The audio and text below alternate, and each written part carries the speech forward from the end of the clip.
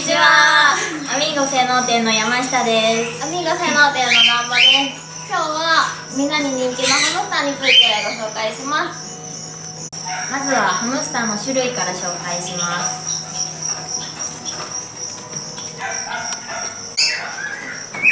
ハムスターはジャンガリアンハムスター、ゴールデンハムスター、ロボロフスキーハムスター、キャンベルハムスターなど意外とたくさんの種類がいますが今回は一番身近なジャンガリアンとゴールデンを紹介します。ジャンガリアンハムスターは体長およそ6から12センチ。ゴールデンハムスターは20センチ弱ほどと私たちよりすごく小さな生き物で。すではハムスターを飼う際の用品をご紹介いたします。まずケージはできるだけ広いものを選びましょう。このケージは全体が透明でハムスターの様子が見えやすいですね。ハムスターは乾燥地で生活するので湿気が高い環境は得意ではありません。なので網のタイプで通気性のいいものがおすすめです。ただし足を引っ掛けたりケージをかじったりする子もいるので注意しましょう。体が小さいのでケージはちっちゃくても大丈夫と思うかもしれませんが運動量が多い動物ですので運動不足にならないように広めのケージで回し車を必ずつけてあげましょう。次に床に敷くチップはこちらの広葉樹という種類のものがおすすめです。他に松の木を使った針葉樹という種類がありますが稀にアレルギーが出る子がいるので低アレルギー性のものを使用しましょう。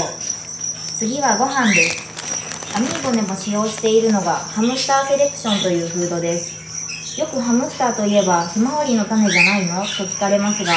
ひまわりの種は脂肪分が多く与えすぎると太ってしまいます。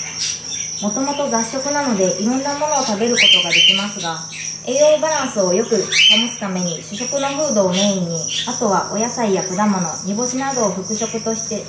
少しずつ与えましょう。次は給水ボトルです。水は毎日新しいものを入れてあげましょう。